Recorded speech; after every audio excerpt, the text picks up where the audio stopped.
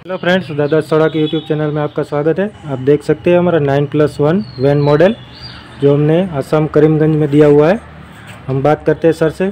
Sir कहाँ से हो आप? हाँ मैं असम करीमगंज से हूँ।